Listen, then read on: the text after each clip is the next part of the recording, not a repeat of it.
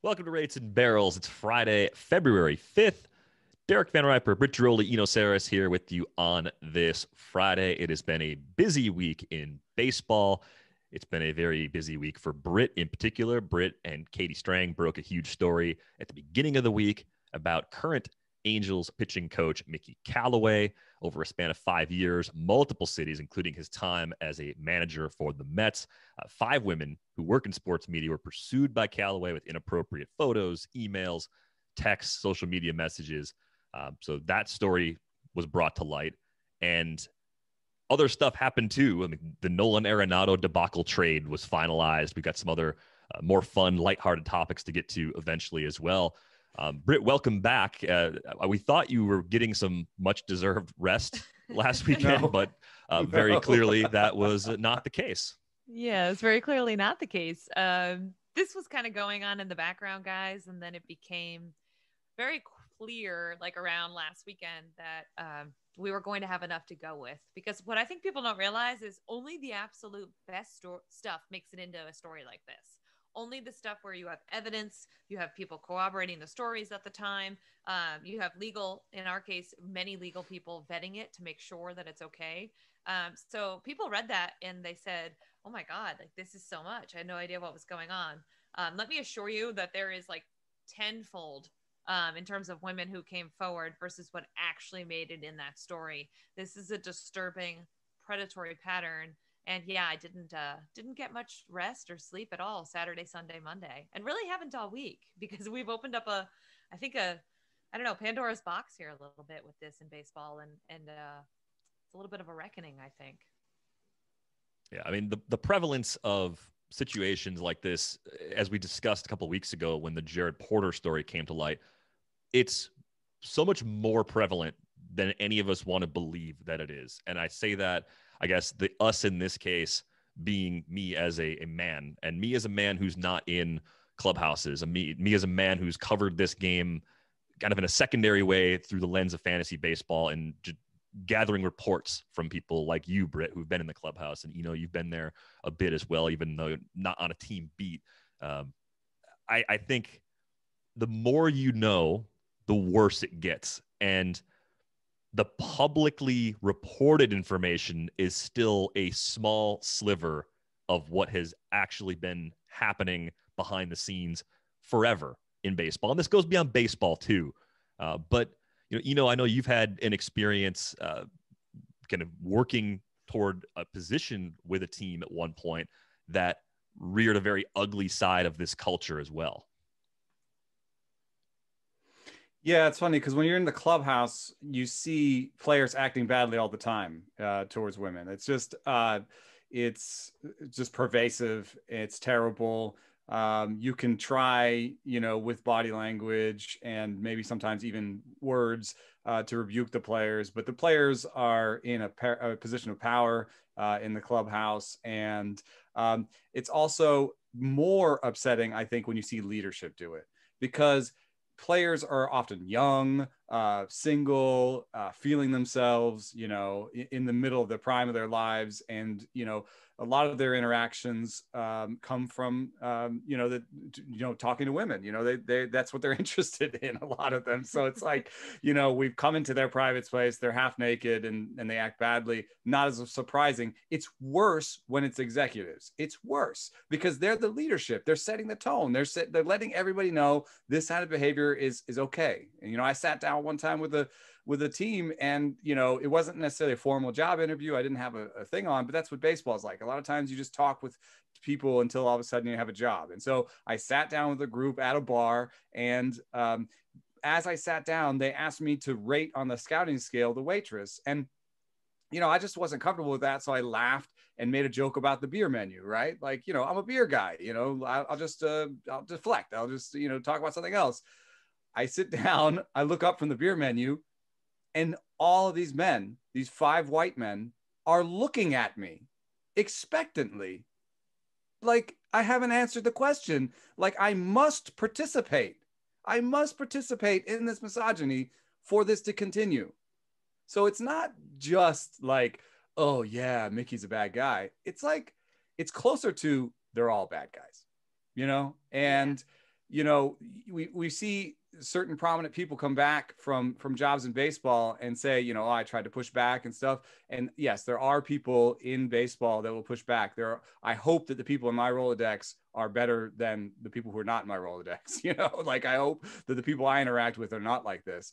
But I ha- I'm forced when these stories come out to be like, maybe they are, and it's probably likely they are, and that there's something about this culture that propagates itself if there's forced misogyny in this sort of situation, then there's probably you know people that are just playing along that are okay, not as bad as the guys who are setting the tone. But yet that means the whole culture is toxic.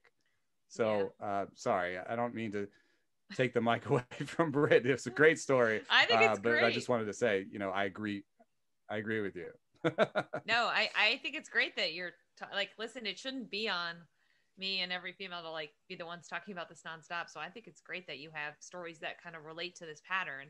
People keep asking me, well, are you going to go after every creep in baseball? And I think it's important to remember that these guys aren't, or we're not going after creeps per se. You, there's a lot of infidelity in sports. There's a lot of infidelity in life. Uh, we're not, you know, if Mickey Callaway was just having affairs on the side, this story would have never came out right? It's the predatory nature. It is telling women who have had a year or two in their job hey you know if you sleep with me come get drunk with me i'll tell you about the mets right? It's it's emailing women off of your new york mets email address. It's you know women who you know have to be nice to you. So it's that power balance here. And as that story detailed this was happening in cleveland. And while nobody now says that they knew about the extent i wonder uh, you know, that's the always the easiest defense is I didn't know, right? But at what point are you still culpable for not knowing, for not for not knowing your organization well enough, right? To not creating and fostering a better environment where this stuff possibly couldn't go on. So that's what I want to see. Um, you know, people stand up and say, we should have known, not like, oh, we'll do better next time. Like, how did we fail the first time? That's kind of what I want to see. And unfortunately, have not really seen it from any of the three teams that have been involved in employing Mickey Callaway. Yeah, there's definitely a lack of institutional control, I think, is the, the term that I've, I've seen used in these situations before, similar situations before. That would apply here, right? If, if, if everyone denies knowing anything about it, it's like, well, what are you looking at? What are you listening to? Are you just walking around with headphones on and loud music blaring all the time with a blindfold on? Because – if it's that if it's this prevalent in the clubhouse, if it's this prevalent in all these places in and around the game, you you couldn't have not seen it if you were there. It's almost impossible at this point.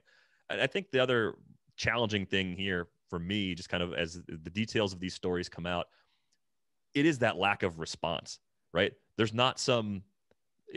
Has there ever been a place or a, a, a line, a, a way that reporters or anyone around the ballpark or around a team could report this behavior within the league, right? Within a team. Like, is anyone making any changes at all to their policies that are even trying to make things immediately safer for women in the workplace around major league teams league wide? Like, I, I have seen no indication of that in these last few weeks since the Porter story first broke. Right. It's very similar to the Porter story where nobody knew, right? Apparently everyone goes, Oh, I had no idea. It was just Jared, right? It was just Mickey. Um, so I would like to see some kind of people have talked about some tip line in place at MLB. Um, to me, what what you'd have to do to make that work is it'd have to one be truly anonymous. Um, two, it would have to be a system where a guy gets tipped off and it's the same guy two, three times. He's he's docked, he's fined, he's out of baseball, right? you treat it the same way you treat steroids or some of these other things. Um, if I'm calling about Mickey Callaway, someone's writing that down somewhere so that if someone else is calling about Mickey Callaway, we know this is a pattern, right? We know this is something that really doesn't even need to be investigated. You had five women come forward. Uh, I know the Angels are tied up in labor laws, so they couldn't fire him right away. Uh, but these are the the examples where this never should have gotten past Cleveland, right? This never should have, judging by how many women in Cleveland um, he, you know, preyed on. This never should have gotten past Cleveland. And if there was some kind of tip line or some kind of system set up uh, where women could do that with no fear of losing their jobs or retribution or, you know, not being one of the guys, which is another legitimate fear, uh, then maybe it would make things better because already I've had people say to me, boy, I wonder how people are going to react to you in the clubhouse this year. like react to me for for calling it out for reporting it? You know it's so it, i think we have to really change the way we view this as like these women don't want attention. They don't come forward because they don't want the attention. They finally come forward and it's still not either believed or people think they want attention. Um, so i think we have to not only change what we do but also how we perceive this. Because listen, as you guys know, I'd love to be writing about OBP and the story that poor Eno's been waiting patiently for us to collaborate on and other things. This isn't got what we got a couple good ones coming. this is not what I wanted to spend my time talking about. Uh, and nobody involved, nobody that we contacted was like, "Oh yeah, use my name. Like, let's do this." Everybody required a certain amount of coaxing um, to make them feel like, "Hey, this is not okay. What happened to you? and we need you to be brave so it doesn't happen to other people. So I think people have to understand that too. There is no reward here for these women speaking out, right? There's nothing to gain from them for, for them personally speaking out in this kind of a story. Um, so I, I would really like to see that part of all this go away as well. Stop trying to figure out who these women are and start trying to figure out how the Indians let this happen, how the Angels still hired him, how the Mets investigated an incident and let it go, right? Let's not worry about who these women are. Let's worry internally and say, who's the next Mickey Callaway in my organization? And how do I get him out of here now? Yeah, I think, you know, institutional, yeah, institutional changes. And, and it can't just be like, you know, uh, you know, after a, a certain uh, national writer was disgraced and had, uh, you know, sort of domestic situation uh, that came to light, um, you know, I was surprised and I asked around, and there were other people who were less surprised. And they was like, if you'd asked me, you would have known. Um, and some of those people were women. And so, you know, and there is this sort of idea ask women. You know, people asked Sandy Alderson, did you ask any women about Jared Porter? Um, and that's fine, I guess. But I also don't think I want to put this on women so that like every time someone gets hired, they you you ask all the women around them. What it has to be on the men to ask around too, and to be honest with each other as men. And so like I you don't have to make a big deal out of it and be very specific about it. But if you ask another dude, is this dude a creep? They'll know what you mean you know like if they're if they're a mm-hmm. decent guy they'll know what you mean and like didn't you even have some interactions with scouts about porter that they were like you know this guy's no good so yes. yeah there are decent dudes out there you just need to ask more than one dude or two dudes because you might ask the two dudes that were you know having tinder battles with that dude you know? And so you might ask the wrong people like, oh yeah he's he's a good guy. Yeah. We, we we we throw beers down and talk shit on women all the time. It's great. You know? So mm-hmm. like you know you got to do better than that. You got to just do a wider canvas. It can't just be women and just be like oh i asked one woman and she said he was and she said it was fine. You know? Like can't just be like put more of a burden on women. But like yes do wider canvas canvassing. It's on the men to to to speak to their creepiness. I think that number, that tip line, should be posted in every press box prominently. I think there should be a like, you know, I've seen this in other workplaces. Are you being harassed? Phone number. Yep. You know, in a very easy to spot. And it's not that just makes it feel like that should make the harassers feel like, woo, like, you know, like this is a this is a big deal to MLB it also could be there in a moment where someone said, I was just harassed. You know, you might say, Oh, I'm just going to put my head down, not do anything about it. Or, Oh, there's this anonymous tip line. The number's right there. Let me at least just send off a text or, or, or at least report this because, you know, hopefully that'll, hopefully I'll line up with some other people reporting this and eventually uh, something will happen. So, you know, there's got to be some institutional stuff that goes down. And, uh, and it can't be just all on like ask ask the women. Yeah i mean yeah put, like okay ask some women but don't don't like ask one and then give him the, the stamp of approval. Right. I think one thing we might have mentioned a couple weeks ago when talking about the jared porter story too is like okay so for many of us who aren't in those exact work situations think about the conversations we have think about the situations we've been in think about times when people cross the line and you know, I I didn't say something. I didn't speak up. I didn't say, "Hey, that's too much. That's wrong. That's bad." Like whatever it would have been. There are instances where we've all been kind of in that situation that Eno described, that almost like interview sort of sense, where you're around people that do or say something that makes you uncomfortable, and you fail to speak up because you feel pressure not to. Doing better in those situations actually does make a huge impact in how women are treated around baseball, but also outside of baseball too. This is not unique to sport. This happens in workplaces. This happens anywhere where there is a power dynamic. That is just how things go, and it is.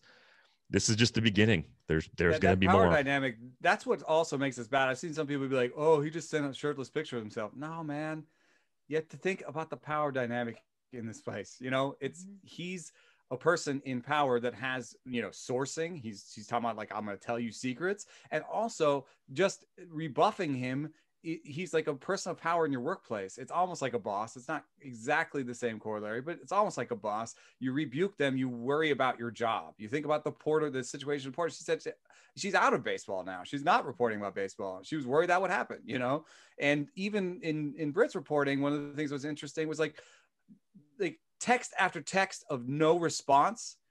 You know, they could have been rude and been like, you know, go away, dude. But you know, they weren't going to because he's in a position of power. And the Mhm. best thing they could do was put their head down and, and ignore it.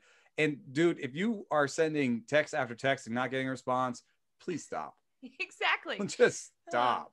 Who's hitting on someone on LinkedIn? Also, like that was fascinating. Oh my god, I read that one. That was Um, ridiculous. You know, it's like, and then like, who's Facebook requesting young reporters, and then like, hey, why didn't you accept my friend request? Like, at what Mm. point is it like, dude, she just is not into you? You know, like it just seems like these. I don't know if it's like it's got to be just a power play because Mickey Callaway could, if he wanted to cheat on his wife, could have gone to a bar, and none of us would have cared. None of us would have written it. It wouldn't have mattered, right? Um it, it to me is just the predatory nature of this like you said you know it's not just shirtless selfies it's someone you have to see every day and someone who's trying to give you massages in the dugout which might have been one of the creepiest details i think in that story awful, Mm. just disgusting that that was among the things that Mickey Callaway has done. So, uh, great job on the story, Britt. As you know, said uh, you and Katie did an awesome job with that reporting, and obviously, as we said, there's there's there will be more Mickey Callaways inevitably. It's it's not it's not what anybody goes into baseball writing to report about. So. We'll try and have some fun and talk about some actual baseball stuff. Um, our favorite pastime on this show is usually dunking on the Rockies. And uh, since we all last spoke, the Nolan Arenado trade happened and became official. And I think our, our colleague Marc Carig dunked on Jeff Bridich pretty hard this week. So if you wanna, that was tasty. that was, oh my lord. it That was pretty fun. It- Oh. if you want to, if you want to have something that's a little more lighthearted, um, but still enjoyable, um, you know, that piece works. that scratched the itch. It was all the things we've been talking about on this pod, but served up in perfect word form. the like- the the finish on it was just mm. Just the, the Yeah. last paragraph. Oh man, the stuff in a shirt. Oh god, that was so good. I guess my serious question is like, how is Jeff Bridich still have a job, right? Like, I know there's how, like, how, how is has he not been on the hot seat, especially now? You look at, I think Tom Verducci had that list of free agents they had paid since Nolan Arenado or or you know came on board or whatever, and they haven't they haven't made a single good decision. No. So No. t- tell me how the three of us couldn't do just as good, if not probably predictably fall into some kind of better success than Jeff Bridich. Is he the well, worst he, GM he in said that we couldn't. He said we couldn't do it. We're we're below him. I I mean, I think that I think that it's possible that Monfort is not very smart, and that Bridich s- sounds smart when he talks to him. That's one I of the few explanations that does sort of check out, I guess. It certainly not So- performance. I mean, yikes. He's Bridich is out there talking about the human condition during the press release about Arenado. I mean, during the press conference on Arenado, it's like, dude, are you trying to tell us that you guys don't like each other anymore, and that's why you traded him away? Right.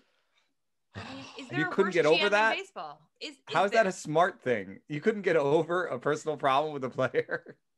No, and, and to your question, Britt, I think he is the worst GM in baseball right now. I think the organization is floundering. It is not loaded with long term talent. They're going to lose Trevor Story. I don't know if it's going to be because they trade him away or because they give him a qualifying offer and he just leaves as a free agent. Couldn't tell you. Um, if logically, if my brain says, well, you might as well trade him. That means they'll probably choose the qualifying offer draft pick compensation route. I, I think the Pirates, who were previously contenders for this, are considerably better with the Ben Cherington led front office there, right? Their mm-hmm. farm system is starting to look better. Sure, they're going to be a bad team in 2021, as we've talked about a few times, but they're headed in the right direction. You know, the Orioles two or three years ago were probably holding onto that mantle. I think with Mike Elias, they've kind of shed that. They're at least on the rise and, and kind of trending in the right direction. But the Rockies have never won a division championship. Will they ever win a division championship? We, have talked about how difficult it is to win there and play there. That's the one thing I'll say, man. It, it is that, hard. It's a hard job. Stadium is makes it hard. I think but, that that situation.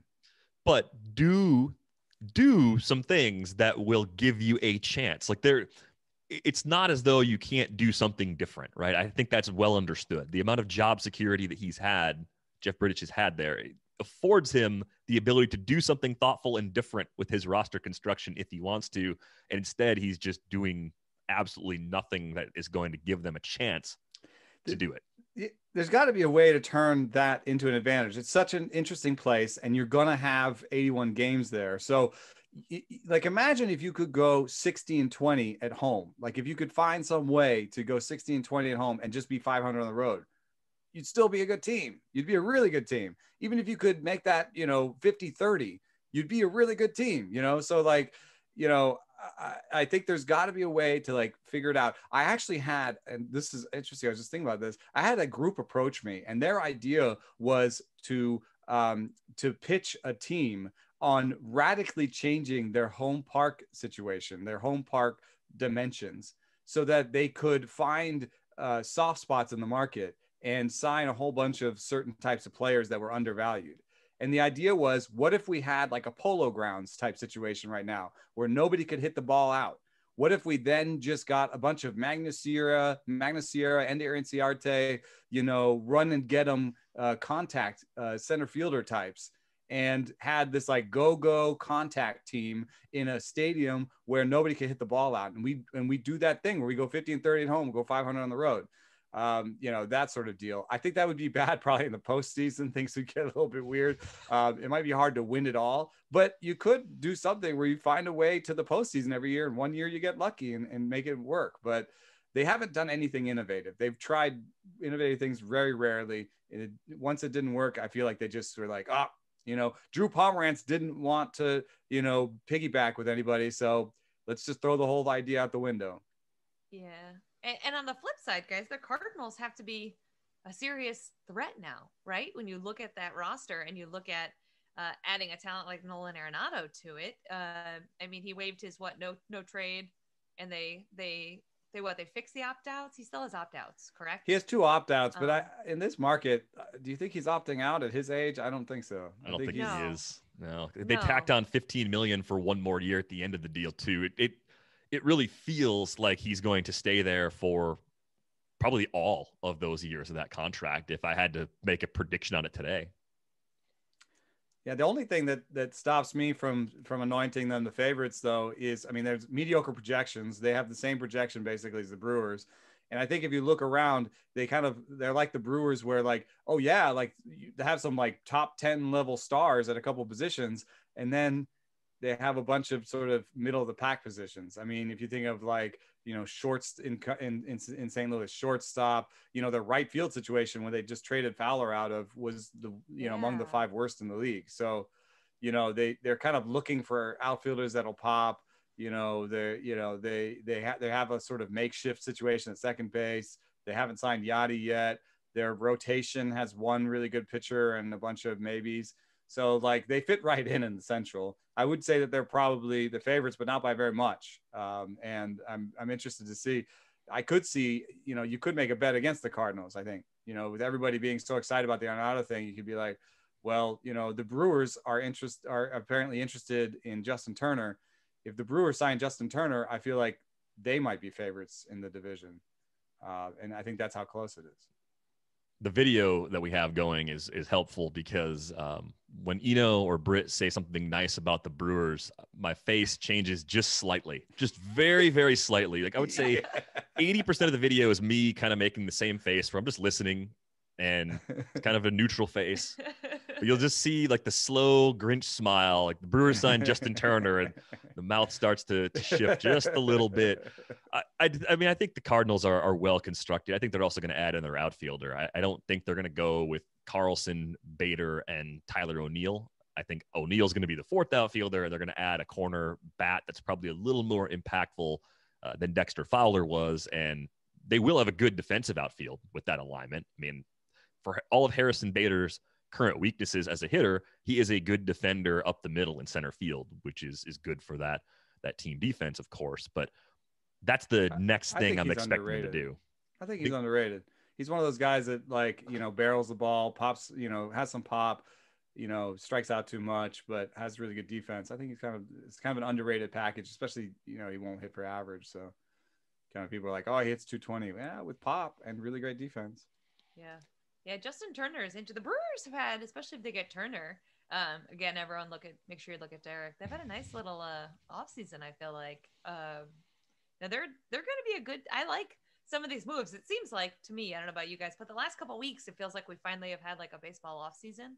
Like teams have woken up and signed players and there's some teams that are trying and it's been it's been really nice to see a lot of transactions. Yeah, I mean, I, pitchers and catchers like reporting next week. it's yeah. like they're trying to fit they're trying to fit the entire hot stove season into the last week. Pretty much, except for Bauer, who you know needs the attention, so he's going to stretch it out as long as humanly possible here. Uh, it does mm. seem like mm. we're on the clock a little bit for Trevor Bauer, though. No. Yeah, it kind of feels like that. I didn't even mention it up top because who cares? They'll drag it out another week if they want to, and that's their mo. If that's what they want to do, but interesting that the Mets seemed to be one of the finalists, right? Like that was when the Mets started making their changes to that rotation, the thought was maybe this is it. Maybe they're done. I figured they're going to push all the chips in and, and bump. I guess it'd be David Peterson would be their last starter right now, or Joey Lucchesi. I think they're both in because of Noah Syndergaard coming back from Tommy John. But pushing one more chip in there, they'd have. I think our, our friend Derek Carty put this out there they would have five of the top 55 projected starting pitchers in the league all in one rotation if they ended up adding Bauer to that mix. And uh, lost in all this, I tweeted this yesterday. Marcus Stroman's good. Marcus Stroman's got a sub four ERA and basically the same whip as Trevor Bauer for his career. And everyone's geeking out about whether or not the Mets are going to get Bauer. It's like, hey, you already have a guy that's been pretty much just as effective to this point in his career. Doesn't strike so many guys out, but results wise, same also, sort of like, level. Like diversity of approach, right? Like you could have five guys who all throw the ball 98 and have wicked breakout, break, you know, breaking balls and whatever. It's kind of cool to have like one guy who does it totally differently. You know, one guy who's got the super sinker. Um, you gotta you gotta break it up a little bit. You can't you can't run into a buzzsaw of a team that they can all hit the four seam. You know, and you're like, oh, well, you can all hit the four seam, but we got Stroman. So I, I think they if they sign Bauer, they immediately become the best rotation in the big leagues. I don't. I, I, think that it's it's beyond what the Padres have put together, and it would be really impressive. Um, and it gets out in front of their depth problems because as it is now, I had the Mets as the biggest injury risk in baseball in their rotation. Um, and because uh, deGrom has a fair amount of injury risk, he has, you know, he has a history. He has a TJ, uh, you know, in terms of uh, age and stuff. There's he was like 80th uh, percentile in our injury risk things. And then, uh, you know, Stroman has had his uh, issues in the past. And then, you know, Syndergaard's not even back yet officially. So, um, you know, ha- you know, they building it the depth with Lucchesi and Yamamoto, who I have as 199th and 200th on my list of top 200 pitchers that came out today. um, I, I'm not a big fan of those of the talent there. The one thing was they're optionable uh, pitchers that could pitch you a spot start or a second part of a doubleheader and not be, um, you know, not be a random minor leaguer that's, you know, replacement level. They're probably a little bit better than that. So it was good that they built that depth, but Bauer would be kind of the masterpiece for that. Are you guys a little buyer beware on on Bauer? I've I've seen some articles and I forget who wrote it, but one of the columns I really liked was um, out of New York that said, "Why not offer him one year, forty million, blow away Gerrit Cole's, you know, record for, um, you know, the, the average annual value.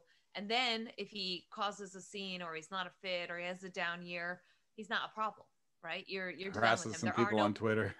yeah. So what? I, I don't know. I, I, thought it was an interesting concept, especially if you're in the Mets. You go all in this year. Um, you spend the money. Half of that money that you're paying him, I know it sounds like a lot, but you're saving by not paying Robbie Cano. So. To me, it actually makes more sense than you would think, rather than like a three or four year deal, um, where it could go sour very quickly. Because forget the, you know, what you if you like Bauer or not, he is coming off of a good year, a really good year, you know, Cy Young type of year. But then you look at the previous years and you're not really sure what you're getting, right? I mean, correct me if I'm wrong. I, I, I actually like the idea of a short term deal for the Mets here, a one year deal from the guy who famously said he didn't want to do anything but one year deals, right? Isn't there something to that? I think from a team construction standpoint, you would always prefer that option just because if it doesn't work out or if he does break, even though it does seem like Bauer has one of the best durability outlooks of, of any pitcher you could possibly sign to a multi-year deal the performance too i mean we're talking about a guy that while he he tinkers and, and studies his craft and does all these things with tech talked about this for years he's had five seasons with an era over four while doing all that stuff like i, I realized that using the pine tar and adding spin rate and that was a big part of why he was good in 2020 but it was a shortened season with a funky schedule where where were these seasons before? We saw it in 2018 too. A 221 ERA, 109 whip in 2018 was outstanding, but 2018 and 2020 are still outliers compared to the bulk of his career. So, yeah, if you're in a position where he would still consider that one year deal for the max AAV, I, I, think that makes all the sense in the world for the Mets. It just seems like he's kind of moved off of that position. And I think the reports that we were seeing yesterday were what three year deals with some opt outs. So it's still definitely very different compared to other pitchers who've been in this position in the past. I bet he gets out of being shot in the balls uh, by taking a deal that has 40 million in the first year and opt out after it, and then two years after, and then he can say, "No, you know, it's a one year deal. You know, I can opt out after one year." And then he gets the AAV uh, record, uh, which I, you know I think he wants. Uh, he bets on himself, which he wants to do. So I think he'll he'll get a deal that that fits uh, uh, slightly what he said he would do to to begin. Um, you know, I think stuff is more important than command most of the time, but it is worth pointing out that Trevor Bauer, there's you know him and Tyler Glasnow are the two lowest uh, command to- totals that I've got in the top 20 pitchers in my rankings, and I just feel like that uh, describes the risk. You know, Bauer has more pitches than Glass now and has developed these pitches and has done a good job of that. So that that mitigates his risk somewhat. Um, but you know, him, Yu Darvish, Lucas Giolito. Um, they all have great stuff numbers and poor command numbers. And I think what you see with those players is a little bit of streakiness. It's almost like a power hitter with uh, great power, but a, a, slightly high strikeout rate, you know, who goes in and out of streaks where, you know, he's clobbering the ball and he's amazing. And then uh, he's just striking out all the time. He's no, he's no good. So, you know, I do think that that is the risk with uh, someone like Bauer. And I think it's the risk with someone like Darvish and, and Giolito and Glasnow, But um, and we're finding out now, you know, there's a piece from Alex Chamberlain and Fangraph saying that like, you know, pitchers can reliably to some extent affect the exit velocity and soften the exit velocity off of pitchers. Um, and we're seeing something uh, from Baseball Prospectus saying in their new projections, uh, they will actually project some pitchers to beat their FIP, like Kyle Hendricks types. And I think the skill we're all dancing around in all of this is command. You know, the pitchers with command can dot the corners, can get the soft contact, can beat their FIP, can be better than just the strikeouts and walks. And uh, so, you know, that's that forced me to put push Hendricks into my top 20 because I was like, this seems like a repeatable thing, man. He's got great command. It doesn't matter anymore to me that he throws 90. Um, and Bauer's like the opposite of that, where it's like this is what baseball has been opt has been like optimizing for is the guy who throws really hard and doesn't always know where it's going. Yeah. You know, you're so smart. Every time I listen to you, I'm like, man, Eno knows. I should create a fantasy team, let Eno pick all the players. you want him to, to ghost no, run the I, team? I don't. Yeah. I think I don't know what it is, but you know, I don't. I, I always. i I'm always like a top three finish, but you know, there's something something missing. I need someone to like watch the room with me. I need like a, a like someone who knows people really well. Maybe we could maybe we could room. team up on a team and you just tell me, oh, that guy's a paper tiger. He's not gonna. You don't worry about that bitter in this room, or don't worry about this. Uh, like but it. no, I, I I I think that um, you know, this is interesting. I think this is a good segue. Like, you know, um, you know, the Mets will be like Bauer in that I think they have a very big boom or bust. Like they have a very high variability. I think you you you uh, texted me something like the Mets are going to be 10 games out of first in July or something. yeah. Yeah. I, I sent, you know, a message just randomly. I think it was yesterday. It's just, I don't think the old Mets, LOL Mets uh, performance problems are, are completely gone. We assume they're gone because of the ownership change. I don't think we have any real reason to believe that. They are better on paper but they always disappoint when they're good on paper, right? That that's just what that franchise is, uh, unfortunately, to the, the, fans of that team. So they could easily be well, an unpleasant surprise. Here's the way it happens. Here's the way that he, yeah, here's the way it happens. Uh, they have no uh, good defenders in the right position other than than, than Lindor, right? So uh, they have Nimmo out in center field, and a bunch of balls are dropping in there and uh, they have JD Davis at third, and a bunch of balls are going through the wickets there. And so they have like the highest BABIP allowed in baseball. Uh, their pitchers are annoyed. They start to throw harder. Someone someone throws their arm out. deGrom throws their arm out. Uh, Thor has a complication setback. You know, I mean, it's, these are not none of these things are crazy. They don't have a good defense. You know, they don't. Uh, they the the pieces don't entirely fit together um 100% and they have the biggest injury risk in the play like if jordan yamamoto makes 10 starts next year uh... okay. So i i think the braves win the nl east anyway. I know we are probably not going to do this today but i'm going braves mets nationals marlins phillies. I still think the phillies are last place team. phillies last. Oh. sorry their bullpen's terrible and they haven't addressed some of their main issues. I i mean cool they got Realmuto back, but but they're mostly bringing back the same team with like Archie that was Bradley. Bad. Yeah. Yeah, yeah they so, need some some young players to step up, right? They need Alec Bohm to be a star. They need Spencer Howard to be really good in that rotation to give them an upgrade. They need Archie Bradley to be a brilliant signing. Like they've tried to do a couple things in that bullpen, but you don't look at it and say, "Oh yeah, this bullpen is so much better than it was. The problem is fixed." You look at the bullpen and say, "That's still more likely than not a trouble spot for that team. Right. And I think we kind of forgot because they made moves so early, but the Atlanta Braves made some really nice moves when no one was making moves. So now it's easy to focus on the Mets, but I still think the Braves are a deeper team, a deeper organization. And I still think, I mean, Baby Bauer tips the scales, but as we sit here right now without Bauer, I think the Braves are a better team. And they could still make another move. I feel like they still need a bat you know, and yeah. Ozuna's still hanging out there, and I could mm-hmm. see them, I could see them doing something where they hide Ozuna uh, around the field for one year, and then we have the universal DH next year. So, um, you know, I could see them making a bet on Ozuna at, on the level of like four hundred, you know, something like that. You know, something that wouldn't totally tank the franchise. They've been a very one year deal type franchise, but they didn't get Semien. They didn't get, you know, a bunch of the other guys that did the kind of high average annual value one year deal. Um, and I don't really see that. I don't think Ozuna wants to do that again. So I could see the Braves like adding a bat, a significant bat.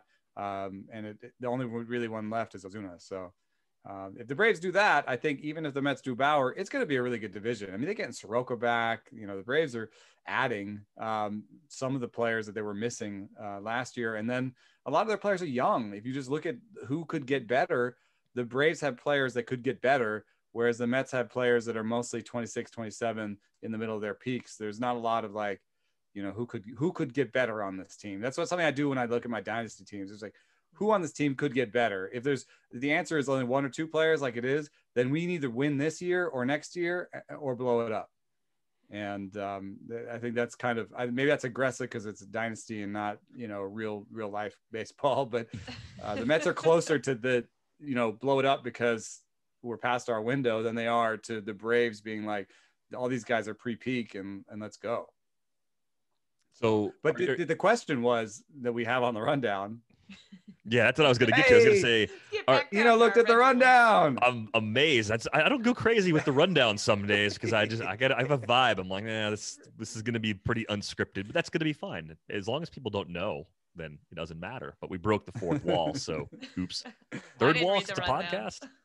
Eh, Yeah, well, we're just- didn't we're just read it talking. for once. we're just talking. But okay, so you you know you're choosing the Mets as your team that's most likely to be an unpleasant surprise. I guess we'll call it. Um, Or do you think they're a they're are they a contender for that award? that was my way into the conversation. I actually think maybe All right. I think it might be the Nationals Yeah, that's a good one. because Talk about bad defense. yeah, all those things I said about the Mets are true about the Nationals, and they're worse. I mean, the the Nationals have the 29th injury risk in the league in that rotation. The the Strasburg is coming off of a very rare surgery. Price wasn't necessarily the same when he had carpal tunnel surgery uh, when he came back, and you know it's been a couple years now. Maybe he's better. Maybe Strasburg gets better. I wouldn't say that he just comes right off of that surgery and returns to vintage Strasburg. Corbin is at 90 miles an hour and wasn't that good last year. You know, their sixth starter actually showed up on my on my rankings as having good stuff, but he throws 89, so I was very suspicious of it. Ben Braymer, I don't even know who that guy Oh. is, but Oh. that might be their sixth starter. Yes. Um, you know, they don't have much depth in terms of starters. They don't seem to be turning out their their pitching program is not turning out uh, young pitchers uh, for the bullpen or anything, you know, or, or for the starting rotation. or anywhere. Um, yeah, and and and the stuff that they added was, uh, you know, on a, on a, a certain level, they're they're they're bou- they're asking uh, veterans to bounce back. They're waiting for Castro to bounce back from you know age and, and surgery, and and they're asking Bell to bounce back, and you know, so a lot of these people could not bounce back, or one or two of them do, and not enough.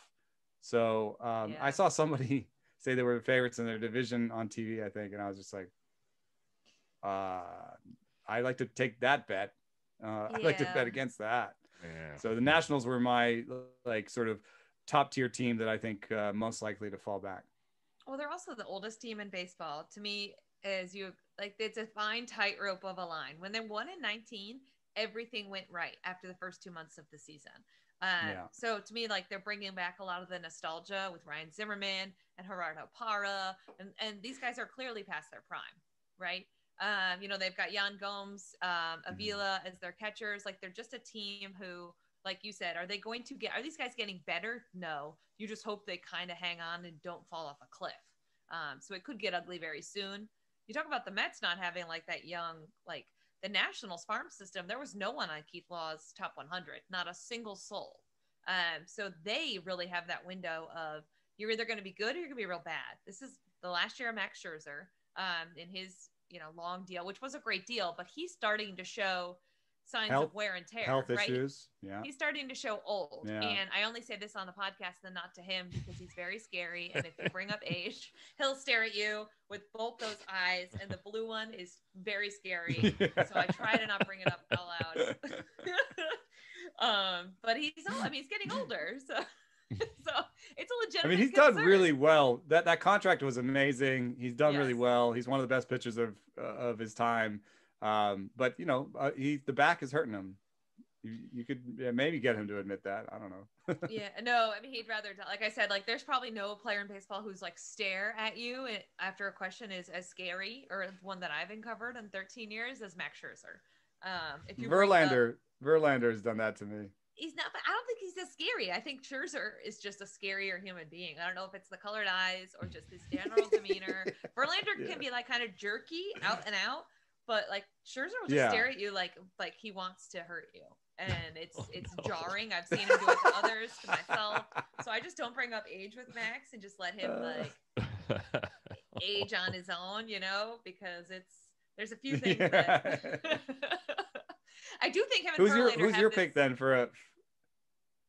My pick is the Yeah. you stole my pick. I think it's the Nationals. I think they are. Oh, I do think they're. And here's my sleeper, trendy maybe pick is the Yankees. Like how often, how much longer are Hmm. we going to deal with the Stanton Judge? Are they healthy? They're doing yoga now apparently this week, right? Um, their number two starter is, is Corey Kluber. There's a lot of eggs in that basket. No, there's a lot Yeah. of what if he's not good? So Yeah. my my like under the radar could fall apart quickly is the Yankees because we've seen it fall apart. We've seen the injuries. Um, we've seen what they've Hmm. done. And like they have had a good offseason. They did resign DJ LeMahieu. I mean, I thought that was huge for them. They, they were able to do some of these things. But also, can't you see very quickly how they end up with a big injury list again? And we're like, oh, the, another year where the Yankees don't win. Yeah, and they, they're almost like the Phillies in that they're running it back. I mean, Yeah. they they they they they brought DJ LeMahieu back, and like Kluber Tanaka. I don't know. Like Tanaka might have pitched more. Maybe Kluber, when he's in, he's better. But you don't know that. You're not off Right. of one session, not one bullpen session. You know. Who are the young So guys I- getting better according to the Eno Sarris chart of like this team is going to be good? Who Like- who can who is who's got room? little bit of a bounce back from Gary. Jordan uh, Montgomery, I think, could be a lot better. I, I think I think Jordan Jordan Montgomery is a sneaky. Yeah, and like for Deivi. Garcia, Clarke Schmidt. the- In the there's a little bit of that like young pitcher, maybe one of those steps forward, and then Gleiber I think can be better. But other than that, I mean, it's it's not a, it's not a long list. Well, then it's just keeping guys healthy. It's keeping Judge healthy, keeping Stanton healthy, keeping. Aaron Hicks healthy. Uh, Clint Frazier, you know, I I was surprised to see this. I was looking this up just the other day. He actually was a better defender than I realized last year, and his defense was atrocious upon arrival in the big leagues. I mean, it was like low light bad, right? Getting attention because he didn't look like he belonged in the outfield at all. I, they look like they're going to let him play quite a bit and left. I'm sure they'll play Tauchman out there a little bit too, and if or when the injuries happen, we'll see both of those guys in the outfield together. But Britt, I think the the Judge Stanton thing, I put that on the rundown because I'm actually intrigued by that. Normally, when we see, yeah, I, I did put that on the rundown. I, I, it caught my eye because I, I've, I've always wondered if you can actually make yourself too bulky to have the functional athleticism and durability necessary to get through a season of your sport. It doesn't just apply to baseball players. I think the first time I ever saw it was David Boston, the wide receiver who played in the NFL for a few years. He was a steroids guy. He got so big that he just couldn't run routes anymore. Like he just couldn't. Ron Gant. Yeah, right. Like there's there's like everyone kind of like, has. how do you even swing? His biceps were like, oh my god. Your own biceps or knocking your microphone out of them. yeah, Hitting those push-ups. Uh, Yeah, doing in the that basement. Steroids. uh, It's like the NBA, right? Like your giant, like it's the giantism. It's the constant stress on your joints from just being a giant human being. yeah, But like the- I, the I think NBA has I think the NBA has reacted to this maybe better than baseball. We'll see. We'll see how this changes in baseball. But if you watch the NBA now, I think everyone's sort of like six nine. You know? Yeah, and there- their load there's- management's big. They don't play as many. Mhm. games. Yeah. but but they all yeah, they're doing the load management. That's that's important to keep people healthy. And I think they're gonna do that more in baseball too. You're seeing that in baseball, right? Healthy scratches. You're seeing, you know, you know, there's nothing wrong with Soto, but he's sitting tonight. You know, that they'll do that. But um uh the the the thing that happened in basketball was I think there's not you don't see seven six guys anymore. It has to do with positionless basketball. It has to do with how basketball is played, but I think it also has to do with a certain amount of health. I don't think it's that healthy to be that huge. So I wonder if baseball, um, you know, if they'll start to see some injury rates for pitchers that are super tall and and and see like oh we, we don't need to chase these like six foot ten six foot six type pitchers uh, as much as you know they used to love you know oh look he's tall lanky he's got all these levers. But it's interesting it's an interesting idea. I would say that um, i was having some achilles problems from running so much um, and from basketball and from the old the old the problem of being old and um, uh, yoga I, you know i did some muscle muscle activation technique um, i did uh, some exercises but i also some like you know kind of uh, plyometric i think they call it or whatever like there's some exercise exercises i do to like huh i think so it's Yeah. I do these little exercises that try to activate tiny little muscles, um, you know, just like little weird movements. And then also yoga. And I don't know exactly which one worked, but the Achilles is doing really good. And uh, I think the one thing that people might not uh, appreciate about yoga is that it's almost weight lift. It's not. It's it's more weightlifting than stretch. It's not about uh, static stretching. It's not about like touch your toes. That's not great. But in yoga, there's a lot of movement with the stretching, and it's actually more dynamic stretching. And I think that um, is good because it's this. It makes little muscles stronger. It makes the little muscles around the big muscles stronger. And I think that's uh, a key to being athletic and not tearing out an ACL or or whatever it is. Right. That's- That's why I thought it was important. But Go ahead, that's, Britt. That's my little Yeah. rant on No, yoga. Uh, yeah, no. The thing with yoga is, um, as you all, as you mentioned, it's the the static stretching does nothing. Did you guys know? I think Cressey told me this maybe once that uh, 80% over 80% of injuries occur when someone is off balance. Hmm. Whether they're like running, That's get, it. trying to get yeah, a ball, you don't want to be So- off balance. Yeah. Right. And so the more time you can spend with things like yoga that involve like the balance technique, things like this, um, that's why I think yoga Mhm. Pilates was a big part of Jake Arrieta's Cy Young, remember? Like that kind of stuff. Um, so which is fascinating if you think about it. These guys are so conditioned, right? It's the it's the force collisions, it's the impact when they're off balance that causes most of these injuries, which I thought was fascinating. Yeah, and I think it is those smaller muscles around the big muscles in particular where you start to run into some trouble. So the just the fact that they're trying something different that makes me a little more encouraged about the possibility that both Judge and Stanton can stay healthy over the longer season. We haven't seen Aaron Judge get over 112 games since 2017. He played 155 that year. Since then, 112, 102, and then 28 in the shortened season. Uh, the oblique has been a problem for him. I think the calf at one point was a problem for him. Obviously, he had like a hit by pitch in the wrist. That doesn't count. That doesn't matter. That happens to everybody. Just like Stanton got hit in the face once. Like, obviously, not his fault. But with Stanton, it's always like the hamstrings and the quads. And if they have increased flexibility and range of motion and they've done a better job kind of balancing out their training, I think we could see them play. Uh, in Stanton's case, I don't think I would expect more than like 130 games. I think part of that is like a load management sort of philosophy, the, the fact they don't really put him in the outfield.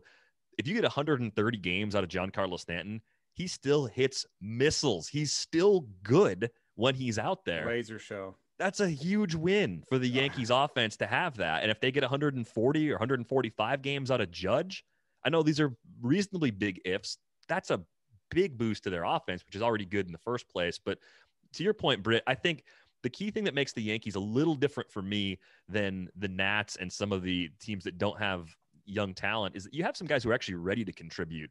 Deivi Garcia, Clarke Schmidt, especially on the pitching side, like they can turn to those guys and maybe get some really high quality innings. Uh, Jonathan Loaisiga is in that mix too. I don't think he brings the ceiling those other guys bring, but he's at I mean, least good enough to be a back end starter. Right? yeah, right. They, they're they're number They've five, number six, number seven, number eight starter doesn't throw 88. I think that's the key for the Yankees. Like they can lean into that depth a little bit, and then they've also just done such a great job of uh, getting into the you know the minor league signings and developing players like Gio Urshela is a good example of that. The trade for Luke Voit, they they just seem to be a better organization than most at finding ways to mask some of those flaws, even with the older core and the injury risk that core brings. So I think maybe my confidence in this team is higher than it should be. Um, but I'm also I'm looking at the the odds. The BetMGM's got World Series odds up right now. I think you guys are both right to be skeptical of the Nationals. The Nationals are plus 3,500 to win the World Series. Same odds as the Phillies. So 35 to 1 on both of those teams. Part of that, the Braves are at 10 to 1. The Braves are, I think, better. They have a younger core. They've got that pitching depth. You know, Bryce Wilson, Kyle Wright, some guys that are at least interesting, even if they're not more than number four starter types. They at least have a few guys they can throw out there that'll keep things close for them. And they have an offense that can out hit the bad pitching. We talked about them, I think, in the middle of the shortened season. The Braves could drop five runs in any given inning with any part of their lineup. Uh, they've got a couple position players that could get better. Ozzy Albies should be healthy this year, right? He had the wrist injury last year. Austin Riley's a guy we've talked about. He could get better. And I think that's what kind of sets the Braves apart in that division. So you guys have it like locked in. Like you, you are right to see the concerns with the Phillies and the Nats. Who's your paper tiger then? My paper tiger is the Cubs. I think they they have a plan, uh, the low velocity plan that we talked about, but their core is getting older, and yeah, they might get a bounce back from Javi Baez. I wouldn't be that surprised by that. Uh, they're going to miss Kyle Schwarber. Joc Pederson's not Kyle Schwarber. As similar as their career numbers are to this point, Schwarber's a better hitter. Uh, they're both bad defenders. Say Kyle Schwarber all day. I love that accent. What accent do I have? Sorry. Wait, but here's my question: Can they be a paper tiger if they're like not really trying to win?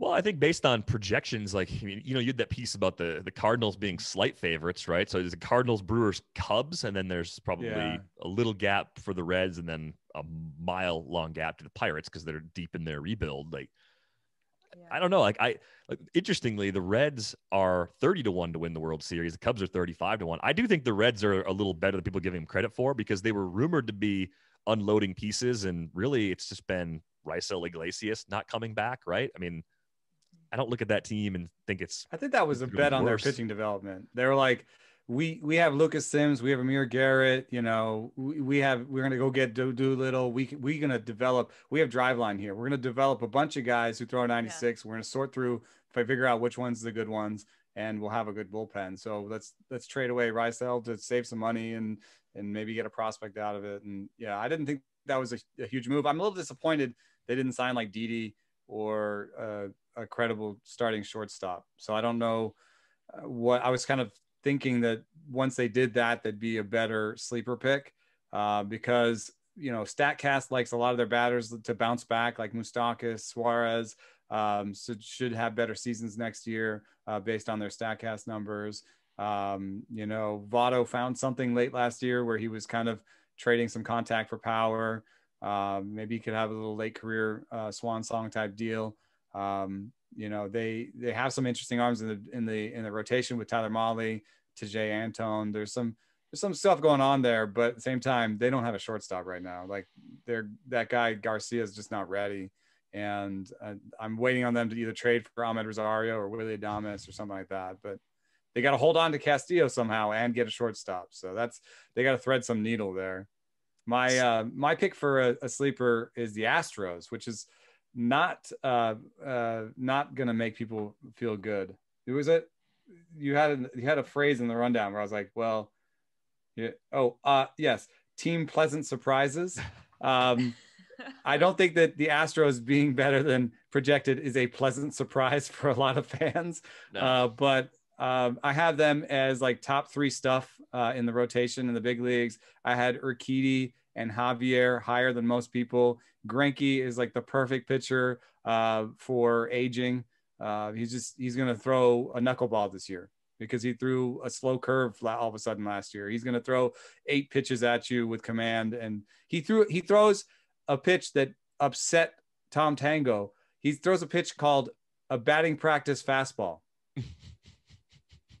he literally it, and and Tom Tango is like, I don't know if I should call this an off-speed pitch or a fastball because it's like an 87 mile an hour four seam and i just don't know what to do with it. And he highlighted it on the pitch mix he's like it's obviously a different pitch but you know i don't know what to call this. So that's a total Greinkeism right there. Um, and uh, i think they could do something like sign jackie bradley uh, in center uh, you know and fake it in center um, I like uh, some of their uh, young batters, and Yordan Alvarez coming back is a huge who could be better on this team it's Yordan Alvarez coming back, being healthy, and being a huge bat um, along with Correa and Altuve. If you add in the postseason, was better than he looked. Uh, you know, there's still something there uh, in, in in Houston. I think they could win that division because you know the Angels fall apart every year. Uh, the A's have like three million dollars to spend this offseason apparently, um, and uh, uh, that might not be enough to to get them where they need to go. So that's that's my that's my sleeper pick. Um, wow. So I'm going to be quick because I know Eno has a an, another uh, Q and A to get to later. But my sleeper pick is going to be the Blue Jays. I don't know if they qualify as a sleeper, but they're trying to win. They obviously mm-hmm. got Springer. Um, they have money to spend. We know that. So I think they are they are poised to, if they're in it, maybe make a splash at the trade deadline. They've got the young talent, as we know, with Bo Bichette, with Vlad Guerrero Jr. Um, they're just a team that seems to be you know, we, we saw kind of kind of like the White Sox. We saw the makings of them last year, and I think they're going to be even better. So I think I have them pegged as my like pleasant surprise, overperforming perhaps what we think the expectations are going into this season. Yeah, and I yeah, think at the very least, that's going to be a fun team. They're going to score plenty of runs. I think they can actually out hit their pitching. They got a few guys that we've talked about, uh, like Thomas Hatch, who could emerge as a back end starter or a nice piece of the bullpen. So they got a few few players kind of cruising under the radar that are going to have important roles for them. And Merryweather. Oh, Merryweather too. Yeah, it's like how, how good those guys are, how they're utilized. I think will actually be pretty important to just how far the Jays go. But they should be much improved from where they were a year ago. And yeah, that Astros call odds on them twenty two to one. I mean, really. I kind of like that one. I, I like that a lot. The Jays are 25 to 1. So they're, yeah, they're the same, so they're right same cluster. Two good picks, yeah. I think. And I think my last thought on the Reds too is like they have a few younger guys that still haven't maybe had their best season. I think Nick Senzel is the one that really comes to mind for me, right? Like you look at what he did in the minors. He's had some injuries as a big league player. Somebody was asking on Twitter if Nick Senzel could play shortstop. And I don't think it's the most ridiculous thing. I possible. tried it in OTP. OTP didn't like it, but OTP doesn't really like uh, Senzel. So I don't know. Out of the park They- they- baseball. yeah. They need They- a they just- shortstop. They do need a shortstop. Real Anderson one. Simmons would have been a, a fantastic yeah. fit on that team because they don't need Yeah. offense. I believe in those veteran bats generally bouncing back. I think they're going to hit a ton of home runs. That's what the Reds do. They're built for it. Their park obviously boosts that about them as well. Um, so those are some of our, our under the no, not under the radars ple- team pleasant surprises, with the exception of the Astros, which are unfortunately no longer Derek's Astros. Makes me very happy that I have shed that after telling telling everybody like, no, Oh, I think no. the Astros are still good. I think the Astros are still good. Like it, Are they now Eno's Astros? now they're Oh, Yeah. Eno's. Astros. Good job. Dang it! I stepped in that one. so, uh, as we mentioned, lots of great stuff to read. Check out Britt Ghiroli's story with Katie Strang, of course, from Mickey Callaway earlier this week. Uh, check out the Marc Carig piece about the Rockies. Fun takedown if you want to read that. And you can check out Eno's pitching rankings that he alluded to as well. I've got a full set of fantasy baseball rankings. There's a lot to read, a lot to take in on the athletic right now. Theathletic.com slash rates and barrels, $3.99 a month is the price to get you started with a subscription. It's the best deal around. On Twitter, she's at Britt underscore Ghiroli. He's at Eno. I am at Derek Van Riper. This is going to wrap things up for this episode of Rates and Barrels. We are back with you on Monday. Thanks for listening.